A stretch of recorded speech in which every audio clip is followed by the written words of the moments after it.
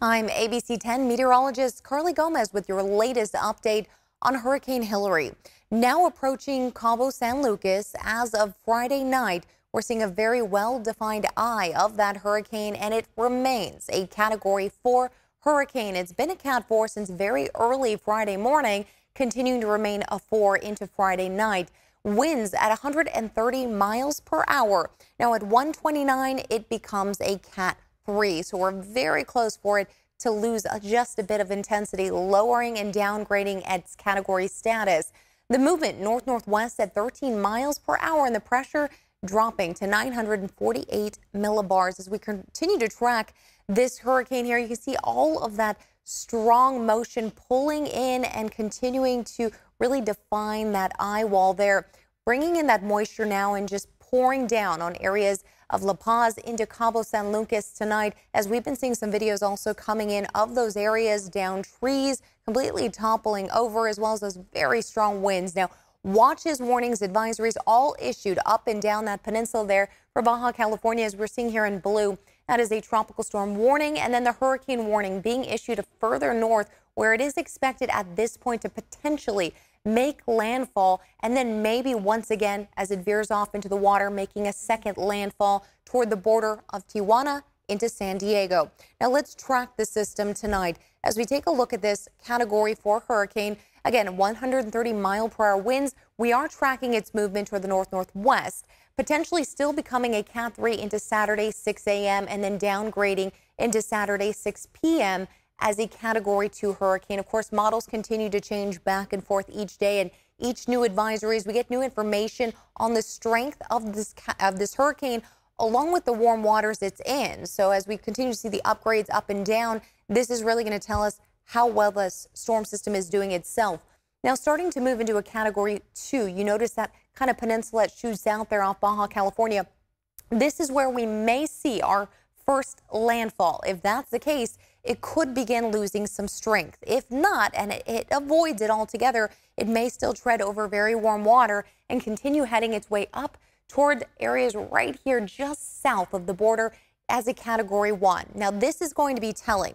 If it begins as a Category 1 and loses strength almost instantly, then we could see it as a tropical storm into San Diego, making landfall into the United States and California as maybe just a tropical storm system. If it holds on, we could see our first hurricane making landfall into California as we know it to be. And take a look at this.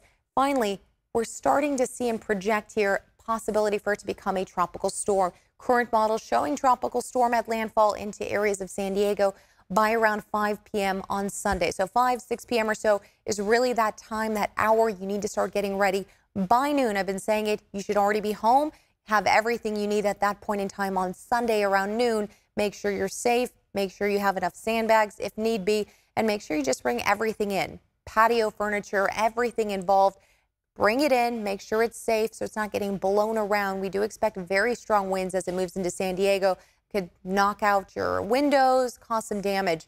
Now, as it continues its track through Orange County and into Los Angeles County, this is where we're going to see some heavy rain, potential for flash flooding and a lot of wind headed that way.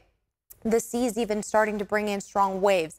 Now, veering toward the northeast, we do expect that low pressure system into areas just over Yosemite, over that Sierra Crest there into Nevada.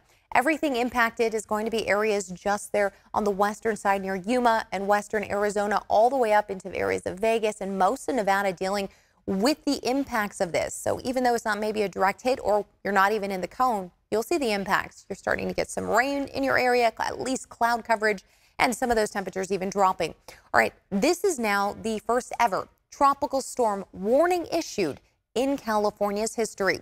The National Weather Service does have a recorded tropical storm from 1939, but the National Weather Service didn't it really exist. They weren't issuing these watches and warnings at that time. But what they were doing was they were tracking things. What we are seeing now is that that tropical storm watch that was issued earlier today has now upgraded and increased to that tropical storm warning. Waves expected to be anywhere from 8 to 13 feet with gusts as high as 65 to 75 miles per hour. And I say as high because this is mostly going to be some coastal areas areas directly impacted by that storm and the outer bands. Now, we're going to see a lot more areas mostly dealing with about 35 to maybe 40 mile per hour wind gusts.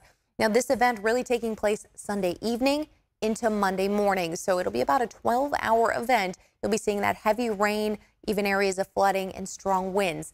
Now, we're also looking at a wind advisory in effect for the desert southwest areas here of California and southeast California, as well as Arizona. Looking at very strong winds, and they're currently starting to get the impacts of all that humidity, all of that moisture from the hurricane making its way up as of Friday night. Looking at those thunderstorms pushing through as well toward Las Vegas.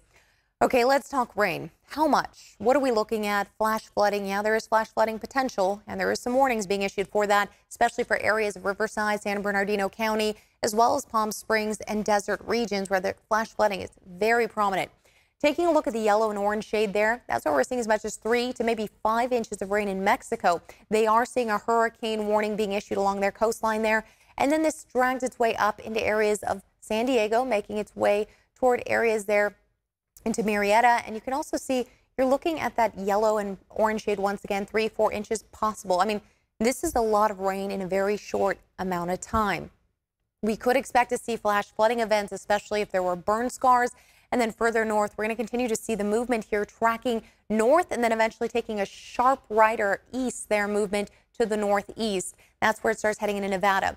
Now, although we may not be getting direct impacts into northern California or Central Valley spots, there's a lot of cloud coverage, a lot of moisture, maybe not dumping two to five inches, but we may see as much as a tenth to a quarter inch of rain headed in northern California. A lot more rain headed into the desert areas as well as you're looking at three to six inches possible. Now let's take a look. As we start moving into your Saturday, we could see a little bit of rain for areas of the Sierra. And then finally, this is where we really see it coming in late Sunday night. Heavy rain for the high Sierra spots, areas near Yosemite, and then a lot of rain into Nevada. Cloudy skies up and down the valley, all the way up to Redding, cloud coverage. Moving from Sunday night into Monday morning, you see that entire system whip right back around, bringing in some rain for areas from Yuba City, Placerville to Sacramento, and then all the way up maybe to about Redding as we get to early Monday morning. So anticipate some rain still back into the forecast in the middle of August.